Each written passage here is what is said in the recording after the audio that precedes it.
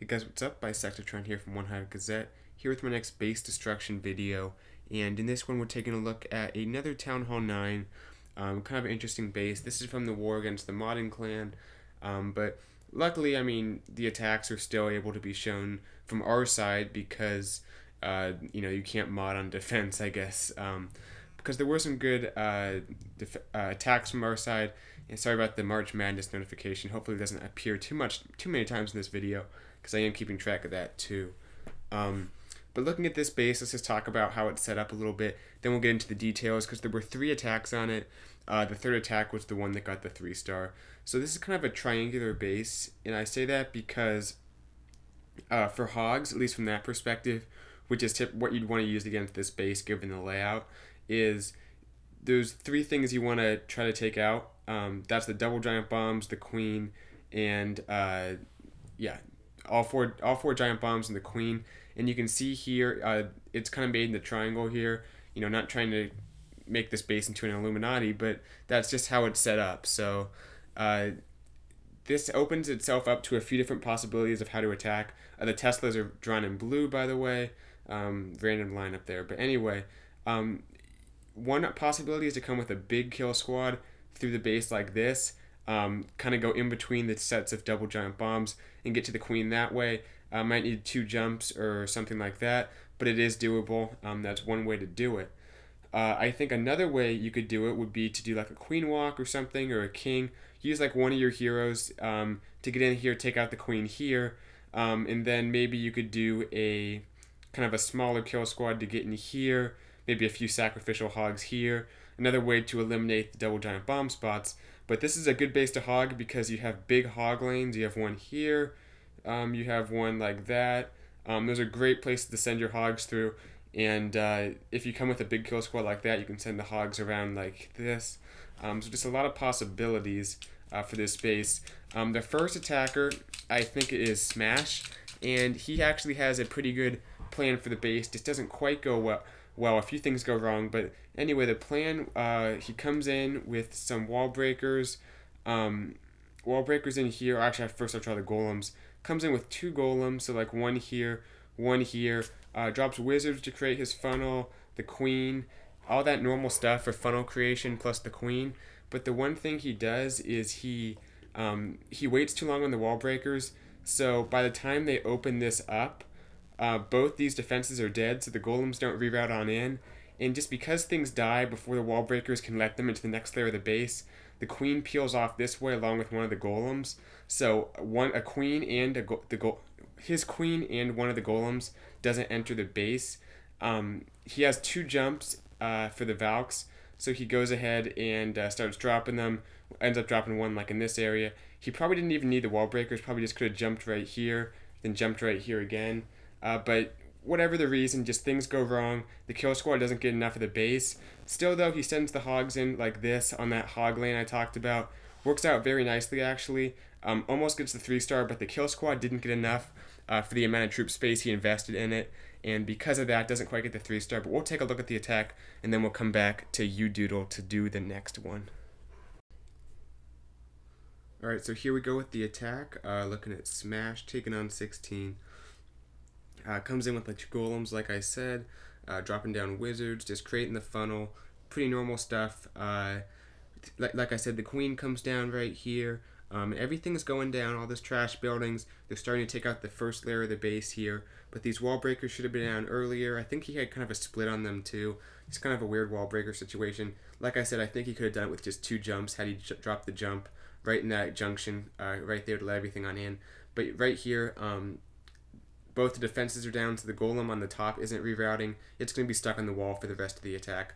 Here comes the king, the Valks, though. It works out okay just because it's a lava hound in the CC, so the queen isn't needed to deal with it, and she wouldn't have been much help anyway because she just would have got stuck on it. Um, drops a wizard, which just kind of helps the lava hound bust, not that helpful, uh, but comes in with the Valks. Here's the heal for them, keeping them moving through. Has to pop the Queen's ability because that Golem is still stuck on the wall, uh, just because that Air Sweeper's up in that compartment. So the Queen goes down, uh, but comes in here. Uh, King, I think they beat through that wall, so that jump might have been helpful to let them keep moving forward. But they, they get through the wall, take out the enemy Queen. That's all down. Here come the Hogs. Um, only has one heal for them though, drops it right there. Uh, the Valks are still up, taking out that Town Hall. Goes ahead and drops the jump to let them keep moving. Uh, but it's just a little bit too late. You can see right here the last few Valks are going to go down before the Hogs can get into the area. So the Hogs won't get the benefit of them tanking, and the Valks won't get the benefit of the Hogs taking out the defenses that are targeting them. So just kind of the wrong timing there. Uh, not his fault, it's just how it worked out. And uh, these last few Hogs are going to go down right here. One more here would have helped. But even though the beginning of the attack kind of got screwed up and that one Golem is at full health, uh, still actually got very close to getting through this base. There's Archer Tower and Tesla almost went down, then only had two other defenses besides that. So very close attack for Smash. Good try. Uh, the plan was solid. Let's see what the next attacker did based off what he saw in this one. And I probably should fast forward. Let you guys watch the rest of the attack because it's just some wizards beating on this. Um, but as you can see, gets a few more buildings taken out. Uh, but that's pretty much it. Good attack to smash. Uh, the blueprint was solid, just uh, couldn't quite get the troops to go the way it was intended. So, uh, like I said, let's take a look at the next attack, how it was planned out. So Warlord watches the attack on that base, uh, comes in with a little bit of a different plan now, and uh, let's go ahead and take a look at what he was trying to do here. Um, drops down a few things to create the funnel, does a queen walk like this. I believe the queen steps up and gets this air defense, so trying to eliminate the double giant bomb spot. Uh, the queen does fine, she actually gets pretty good value. Um, I don't think he even uses a rage, but she gets around, takes out you know most of this part of the base, um, and then sends in the two golems and the king, and I think this is the part of the attack that kind of uh, lost it for him. Didn't get in the three star because he comes in with two golems here. Uh, he actually drops a jump a little bit later right here. The goal was basically to take out the queen and eliminate this double giant bomb spot. Now there's a lava hound in the CC, but here's the problem. There's there's so much HP that the king has to get through to get to that double set. I mean, he can take out the queen pretty easily because he'll aggro onto her, but there's so much HP that there's not enough damage that's going to come from the king to uh, get through here before he gets taken out. So he has two golems tanking for him, but uh, for his, the low level king, which I think is level 20 or something around there, um, he's not going to be able to get through all this uh, without the help of any other troops. Now, you, you might think there would be a few wizards, which there are, but they just get stuck on the Lava Hound because um, the Lava Hound doesn't go to the Queen, it's still in the CC. Uh, so it comes out, hops on one of the golems, and the wizards get stuck on it. So basically, just very slow moving through, the, through this uh, compartment just because there's no other damage dealers. So I'm not a big fan of bringing two golems and just the king. If you're bringing that amount of tanking, uh, I would recommend, you know, uh, invest a few Valks, or at least uh, make sure the Lava Hound isn't going to uh, aggro your wizards because the wizards do a lot of damage and they're pretty cheap just to, to toss a few in behind the golems. But needed some other source of damage because things die right here, so that double uh, set is still up. Um, sends in the hogs like that, let them come through. A few die to that double set just because it's still up, and then because the angle they come from, a few more go to that double set. So just kind of a double bacon here uh, from both those double giant bombs. Doesn't get the three star, but good plan. Most of the base is taken out once again because the queen comes around and gets like all of this. So uh, both attacks very close. Let's take a look at this one. Then we'll see how the base was actually three starred. All right, here we go with Warlord's attack. Um, like I said, it's going to drop down a few minions, and yeah, his king was level 20, so that that's not going to do a whole lot of damage. That's not going to be able to get the job done. But anyway, the queen walk went very nicely. Um, only level 17 queen, but she gets her job done. Uh, right here, she steps up. Um, she'll go down for that mortar in just a moment. I'll go times two just because she takes a little while, but she'll get through that elixir storage. Um, hop down on these two buildings, get that air defense, which negates the double set um, or at least it should have. But the way he sent his hogs in, they kind of pathed over it anyway. Um, I'm not sure what the plan was. I think just a little bit unlucky there. Uh, but the double set is pretty much, uh, it is kind of tampered with, which can uh, negate it. But anyway, the queen makes her way through. Um, there is a little bit of point defense down here, but he's going to use the ability. Ends up saving the rage for the king, which I didn't mention. Uh, there is a rage for the king, which does help a little bit, but I don't. It still wasn't enough in my opinion. Uh, but let's take a look at it. The queen taking a bit of damage up there, but uh, right now she's back to one point defense. Here come the two golems and the wizards. has quite a few wizards, but like I said, any of them that actually enter the base will get stuck on that lava hound. Um, the queen, I think he, yeah, queen's back to full health just because she got out of range of the point defense. But here come the golems. Um, here come the here comes the king in just a moment, and uh, he has to go through each building one by one. Uh, drops down the poison just to slid on the queen. That was pretty good. Then the rage in just a moment. Goes ahead and pops his own queen's ability because she was taking a bit of damage. But there's the rage. Uh, gonna keep everything raged on up. Uh, drops the jump down. But like I said, that one wizard stuck on the hound. That king uh, hasn't popped the ability yet, but now there's skeleton traps on him. Just a lot of damage going towards him. Pops the ability, but he's going down either way. That double set is not being triggered. Plus the enemy king's there. A lot of storages in that compartment too. Just too much for him to get through. Um, yeah, there were a lot of high HP buildings like some gold storages, elixir storages, various stuff that could have, you know, taken time for him too. Uh, but the queen kept walking. He might have intended to wall breaker the queen into the base at one point, because um, he does have three extra wall breakers, but maybe in the heat of battle just didn't have time, forgot something. But uh, you might have saw that double giant bomb set go off. Then the last few hogs go down to the second one. Um, so good attack, only two point defense left up, and he might have actually had the three star had the queen been wall breakered into the compartment up here, because I think that was the plan. Uh, I don't know, I, I didn't talk to him about it, but um, it was very close, like I said. Just two more point defense. I think like two of the same point defense that were left up on the last attack. So good try. Also a very close attack.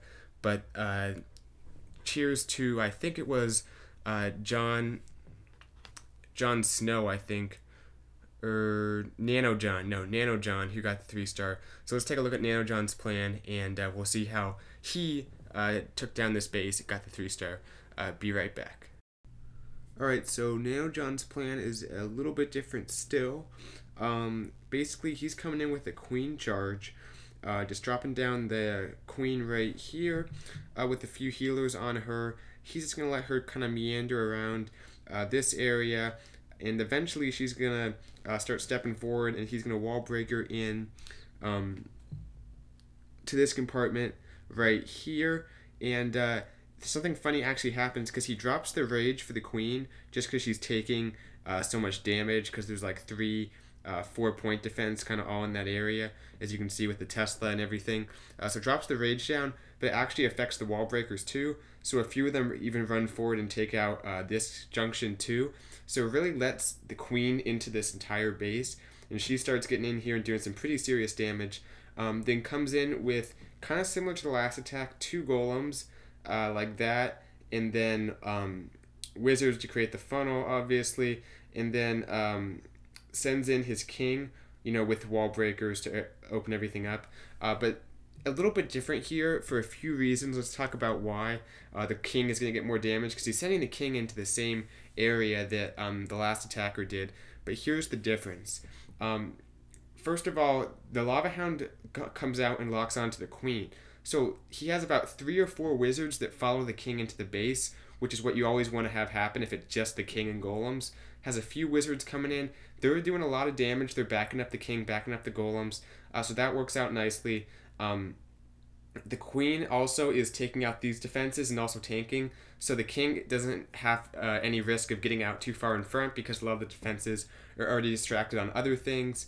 And um, the king is also a little bit higher level, which helps too. I think the king's like 25 or something, so he gets a bigger chunk of the base taken out, and he's not being expected to do as much. Um, I went, might have even come in with one golem less. I don't like bringing two golems and just the king, uh, but the wizards do help, and uh, I think the jump goes down. Maybe doesn't jump. I can't remember now if he jumps or not. I think he might just to get in there, uh, let them keep moving forward. Gets the queen taken out, obviously. Um, we'll see if there's a jump. I, I'm totally blanking out on that. But anyway, comes in with the hogs here. Comes in pretty heavy with a heal, um, letting the hogs move forward. And uh, just does kind of sacrificial hogs. They blow up on this double set. But after the double set goes down, there's really only a few defenses left. Has like six hogs, which he drops in here. And this base is done. Um, so sacrificial hogs are a thing. They can work nicely if you do them right. Um, and this attack goes very well. So um, instead of talking about, let's take a look at it and uh, see how Nano John cleaned up this base. All right, here we go with the attack. Um, like I said, starting off with the queen walk, uh, dropping her down, just letting her take out a few local trash buildings, and then she'll step forward a little bit more and start tanking for some more of these defenses. Drops down the rage because that Tesla will pop, plus the two archer towers are in the area. Uh, it's just a lot of damage going to that queen right now. Uh, so good placement on the rage right here. Because after that army camp goes down, she's heading kind of north um, it's a little bit low right there, maybe a little bit late on the rage, I guess. Uh, but the placement's good, and she's going to be left up. Uh, like I said, these wall breakers come in here, and that one under rage is enough to take down the Lego wall. Uh, the wall goes down, that entire uh, junction's been opened up as if you drop like some quakes or something. So great value there. Um, I'm pretty sure that was unintentional, but uh, extra bonus. The queen can step forward even farther, uh, which is nice. Lava Hound comes out, starts aggroing the queen. She'll deal with it. Then comes in with the two golems. Um, what goes ahead and waits on that second one just because there's no need uh, to let it take unnecessary splash damage from the mortar and the wizard tower. So um, nice little touch there. Comes in with the uh, excuse me. There's the jump. Didn't wall breaker in. Just drop the jump, which works out fine. And then look at this. The king goes in, but also I think that's three. Yeah, three wizards backing up the king. Um, just so much more damage, and uh, it, it's worth it. Also, like I said, the queen took out that big bunch of defenses, so the king is not taking much damage. He's kind of free to walk around, do his thing. Uh, the golems are going to take out that air defense and keep moving forward with the jump. So getting good value for everything so far. Um, the king just hops to that compartment, starts tanking for actually three point defense. So awesome there. The hogs won't have to take as much damage. I think these two golems get stuck on the wall here just because they uh, hesitated for so long. Uh, but they eventually make their way through or actually they get stuck on that wall. But anyway, uh, coming in with the hogs here, like I said, um, there is quite a bit of damage coming at them, but uh, they're able to get it taken out. Um, and then that's the sacrificial group of hogs, like I said. Uh, so right here, they're gonna get blown up by the double giant bomb set, but um, it's fine. Has six more hogs, which will drop right in just a moment, and uh, that'll be plenty. The queen is still up, which helps. Pops the ability. She'll take out most of the defenses anyway, uh, but the hogs help out as well and this base is pretty much done. Hope you guys enjoyed the video. Uh, I always love doing a base destruction video for you guys. Uh, so make sure to drop a like and a comment uh, after watching. But anyway, uh, coming out with more stuff soon. Stay tuned. I'll see you guys later. Bisectatron out.